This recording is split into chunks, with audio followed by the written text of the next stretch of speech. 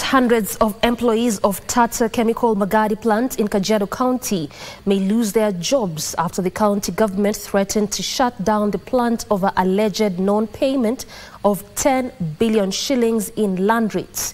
The residents are now calling for an immediate agreement between the plant and the county government, saying shutting it down will affect the livelihood of hundreds of locals who depend on the plant for their livelihood.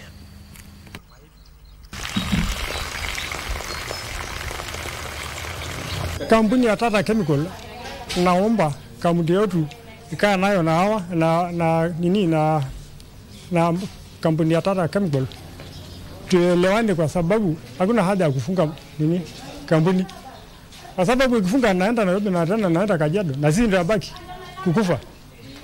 We'd like to believe that we support the community in a big way, uh, and they look forward to our support.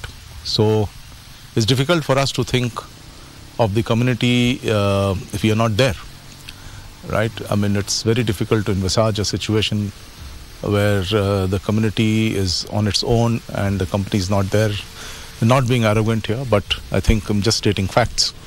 And the community appreciates that, the way we appreciate their blessings and support for us.